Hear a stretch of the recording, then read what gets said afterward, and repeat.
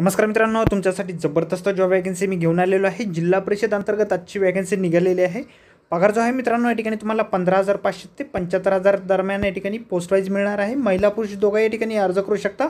एकूण अठ्ठ्याहत्तर जागांसाठी या ठिकाणी वॅकन्सी निघालेली आहे. कुठल्याही प्रकारची परीक्षा तुमच्या या ठिकाणी होणार नाही किंवा फीस देखील तुम्हाला या ठिकाणी भरायची नाही. डायरेक्टली मुलाखतीद्वारे सिलेक्शन तुमचं या ठिकाणी होणार आहे. शैक्षणिक पात्रता जी आहे मित्रांनो तुम्ही बारावी पास असाल बी एस सी झालेलं असेल संबंधित पदवी जर तुमच्याकडे या ठिकाणी असेल तर या ठिकाणी आपण या पदासाठी अर्ज करू शकतो. महाराष्ट्रात नोकरी आहे मित्रांनो अधिक माहिती जी आहे आपण व्हिडिओमध्ये बघणारच आहोत. तर व्हिडिओ शेवटपर्यंत नक्कीच बघा. तर मित्रांनो व्हिडिओ सुरू करण्याअगोदर आपण जर आपल्या रॉयल कॉर्नर यूट्यूब चॅनलवरती नवीन असाल तर आपल्या रॉयल कॉर्नर यूट्यूब चॅनलला सबस्क्राईब करावं. बेल आयकॉन दाबायला विसरू नका. असेच नोकरी संदर्भातील नवीन नवीन व्हिडिओ आपल्याला मिळत राहण्यासाठी. तर सुरू करूया मित्रांनो आजचा व्हिडिओ.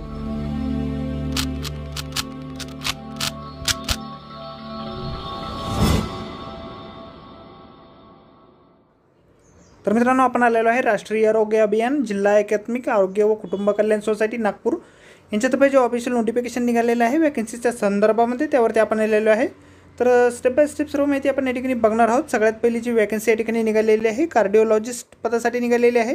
एकूण एक वॅकन्सी त्या ठिकाणी आहे. सिव्हिल सर्जन ऑफिस नागपूरसाठी ही वॅकन्सी आहे. तुमच्याकडे या ठिकाणी जर एम बी बी एसची डिग्री असेल ग्रॅज्युएशन डिग्री एम डी या ठिकाणी असणं आवश्यक आहे मेडिसिनमध्ये तर आपण या ठिकाणी या पदासाठी अर्ज करू शकता. त्रेचाळीस वर्षाची या ठिकाणी वयोमर्यादा मागास प्रवर्गासाठी आहे आणि ओपनसाठी अडोतीस वर्षाची आहे. एक लाख पंचवीस हजार रुपये पगार तुम्हाला या ठिकाणी मंथली मिळणार आहे. त्यानंतर मित्रांनो सेकंड नंबरची वॅकन्सी या ठिकाणी आहे.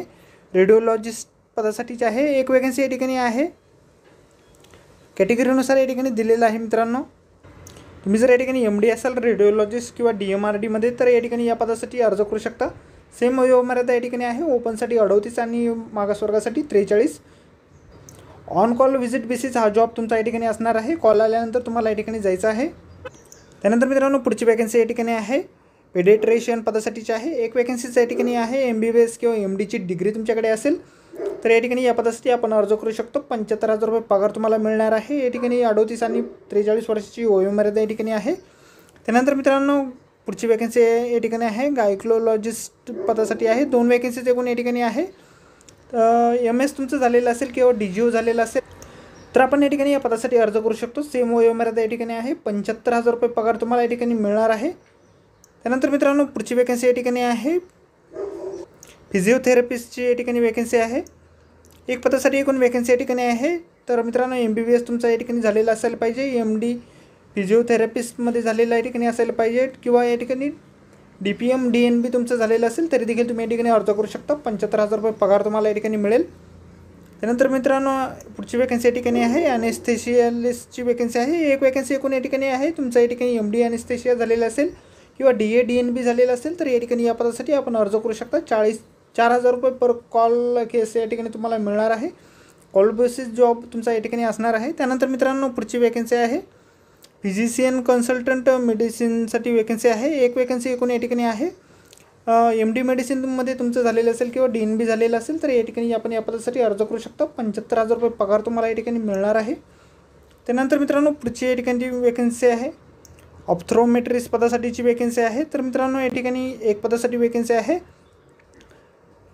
बॅचलर इन ॲप्ट्रोमेट्रीमध्ये तुमचं या ठिकाणी झालेलं असेल एक वर्षाचा एक्सपिरियन्स असेल तर आपण या ठिकाणी अर्ज करू शकतो. या पसा पदासाठी वीस हजार रुपये प्रति महिना पगार तुम्हाला या ठिकाणी या पदासाठी मिळणार आहे. त्यानंतर मित्रांनो पुढची वेकन्सी या ठिकाणी आहे ऑडिओलॉजिस्टची तर एक वेकन्सी या ठिकाणी आहे डिग्री इन ऑडिओलॉजीमध्ये तुमच्याकडे असेल दोन वर्षाचा रिलेव्हंट एक्सपिरियन्स तुमच्याकडे असेल तर या पदासाठी आपण अर्ज करू शकता.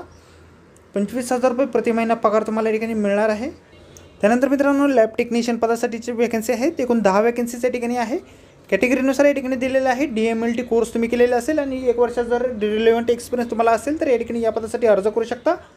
मागास वर्गासाठी त्रेचाळीस वर्षाची आणि खुल्या वर्गासाठी अडतीस वर्षाची वयोमर्यादा या ठिकाणी आहे. सतरा हजार रुपये पगार तुम्हाला या ठिकाणी मिळणार आहे. त्यानंतर मित्रांनो पुढची वॅकन्सी या ठिकाणी आहे. काउन्सिलर पदासाठीची एक वॅकन्सी या ठिकाणी आहे. एम एस डब्ल्यू तुमचं झालेलं असेल आणि एक वर्षाचा रिलेव्हंट एक्सपिरियन्स तुम्हाला असेल तर या पदासाठी अर्ज करू शकता. वीस हजार रुपये पगार तुम्हाला या ठिकाणी मिळणार आहे. त्यानंतर मित्रांनो पुढची वेकन्सी या ठिकाणी आहे. पॅरामेडिकल वर्करची आहे. एक वेकन्सी एकूण या ठिकाणी आहे? बारावी पास तुम्ही या ठिकाणी असाल. आणि पॅरामेडिकल वर्कर सर्टिफिकेट तुमच्याकडे असेल तर या पदासाठी आपण अर्ज करू शकता. सतरा हजार रुपये प्रति महिना पगार तुम्हाला या ठिकाणी मिळेल. त्यानंतर मित्रांनो पुढची वेकन्सी या ठिकाणी आहे. मेडिकल ऑफिसर फुल टाईमसाठीची वेकन्सी आहे. एक वेकन्सी एकूण या ठिकाणी आहे? तर एम बी बी एस या ठिकाणी तुमचं झालेलं असणार पाहिजे आणि register M M M C तुमचं या ठिकाणी झालेलं असणं आवश्यक आहे. पंचेचाळीस हजार रुपये प्रति महिना पगार तुम्हाला या ठिकाणी मिळेल. त्यानंतर मित्रांनो या ठिकाणी पुढची वेकन्सी आहे. या ठिकाणी ट्रिबल सुपरवायझरसाठी या ठिकाणी वेकन्सी आहे. एक वेकन्सी एकूण या ठिकाणी आहे. बारावी पास तुम्ही या ठिकाणी असाल आणि चांगलं संवाद कौशल्य जर तुमच्याकडे असेल आणि अतिदुर्गम किंवा आदिवासी भागातून आपण असाल तर या पदासाठी आपण अर्ज करू शकतो. पंधरा हजार पाचशे रुपये पगार तुम्हाला या पदासाठी या ठिकाणी मिळणार आहे. त्यानंतर पुढची वेकन्सी या ठिकाणी आहे मित्रांनो. सिस्टर इन्चार्ज पदासाठी आहे. एक वेकन्सी या ठिकाणी आहे. जनरल नर्सिंग कोर्स तुमचा या ठिकाणी झालेला पाहिजे. साडेतीन वर्षाचा. आणि बी एस सी नर्सिंग या ठिकाणी झालेलं असणं आवश्यक आहे. रजिस्ट्रेशन आणि डिप्लोमा तुमचा या ठिकाणी झालेलं असणं आवश्यक आहे. महाराष्ट्र नर्सिंग काउन्सिलमध्ये तुमचं रजिस्ट्रेशन या ठिकाणी असायला पाहिजे. वीस हजार रुपये प्रति महिना पगार तुम्हाला या ठिकाणी मिळणार आहे. त्यानंतर मित्रांनो पुढची वॅकन्सी या ठिकाणी आहे. स्टाफ नर्स पदासाठी त्रेपन्न वेकन्सीचे गुण या ठिकाणी आहे. तर मित्रांनो कॅटेगरीनुसार या ठिकाणी दिलेलं आहे. तर जनरल नर्सिंग कोर्स तुमचा झालेला पाहिजे साडेतीन वर्षाचा. आणि बी एस सी नर्सिंग झालेलं असेल तरी चालेल आणि रजिस्ट्रेशन आणि डिप्लोमा महाराष्ट्र नर्सिंग काउन्सिलमध्ये तुमचं रजिस्ट्रेशन या ठिकाणी असायला पाहिजे. वीस हजार रुपये पगार या ठिकाणी या पदासाठी मिळेल. एकूण अठ्ठ्याहत्तर पदांसाठी अशा वॅकन्सी निघालेली आहे. तर मित्रांनो या ठिकाणी अर्ज सादर करण्याची शेवटची तारीख दिलेली आहे. सतरा पाच दोन हजार बावीस या ठिकाणी संध्याकाळी पाच वाजेपर्यंत या ठिकाणी तुम्ही अर्ज सादर करू शकता. अर्जासोबत मित्रांनो काही मोगळ कागदपत्रांच्या प्रती तुम्हाला या ठिकाणी जोडायच्या आहेत. झेरॉक्स कॉपी आपण त्याला म्हणतो. पदवी पदविकाचे प्रमाणपत्रांच्या झेरॉक्स कॉपी गुणपत्रिका सर्व या ठिकाणी तुम्ही झेरॉक्स कॉपी जोडायचे आहे. शैक्षणिक अर्थेबाबतचे प्रमाणपत्रे संगणक अर्थेबाबतचे प्रमाणपत्रे जातीचे प्रमाणपत्रे शाळा सोडल्याचा दाखला किंवा जन्मतारखेचा दाखला प्रमाणित केलेले अनुभव प्रमाणपत्र वैद्यकीय अधिकारी specialist staff nurse L H P sister in charge पदाकरता registration सर्टिफिकेटचे झेरॉक्स पासपोर्ट आकाराचा photo R T G S N E F टीद्वारे अर्ज शुल्काचा भरणा केल्याची पावती अथवा डिमांड ड्राफ्ट या ठिकाणी इथे दी तुम्हाला या ठिकाणी झेरॉक्स कॉपी अर्जासोबत जोडायचे आहेत. अर्ज जे आहेत मित्रांनो या ठिकाणी तुमच्या आरो राष्ट्रीय आरोग्य अभियान आरोग्य विभाग जिल्हा परिषद सिव्हिल लाईन नागपूर या ठिकाणी तुमचे अर्ज स्वीकारले जाणार आहेत. त्यानंतर मित्रांनो फीज पेमेंटविषयी जर या ठिकाणी बोलायचं झालं तर मित्रांनो तुम्ही या ठिकाणी जर मागासवर्गातून जर अर्ज करत असाल तर शंभर रुपये फीज पेमेंट तुम्हाला या ठिकाणी करायचं आहे. आणि जर ओपन कॅटेगरीतून खुल्या कॅटेगरीतून अर्ज करत असाल तर दीडशे रुपये फीज पेमेंट तुम्हाला या ठिकाणी करायचे आहेत. जिल्हा एकात्मिक आरोग्य व कुटुंब कल्याण सोसायटी नागपूर खाते क्रमांक या ठिकाणी दिलेला आहे. आय एफ सी कोड देखील या ठिकाणी दिलेला आहे. या ठिकाणी तुम्ही आर टी जी एस किंवा नेपने या ठिकाणी भरणा करू शकता. पावती या ठिकाणी तुम्हाला अर्जासोबत जोडायची आहे. तर मित्रांनो ही जी सर्व पदे आहेत त्या ठिकाणी कॉन्ट्रॅक्ट बेसिसवरती आहेत. तर आपण अर्ज करण्याअगोदर सर्व अटी शर्ती या ठिकाणी व्यवस्थित वाचायच्या आहेत. पी डी एफची लिंक जी आहे मित्रांनो आपल्याला व्हिडिओच्या डिस्क्रिप्शनमध्ये मिळून जाईल. त्यावरून आपण सर्व काही माहिती या ठिकाणी वाचल्यानंतरच या ठिकाणी अर्ज करायचा आहे. तर मित्रांनो आजच्या व्हिडिओमध्ये एवढेच. व्हिडिओ जर आवडला असेल तर व्हिडिओला लाईक आणि शेअर नक्कीच करा आणि चॅनलला जर अद्याप आपण सबस्क्राईब केलेलं नसेल तर आपल्या रॉयल कॉर्नर यूट्यूब चॅनलला सबस्क्राईब करायला विसरू नका. तर भेटूया मित्रांनो अशाच नोकरी संदर्भातील पुढच्या व्हिडिओमध्ये.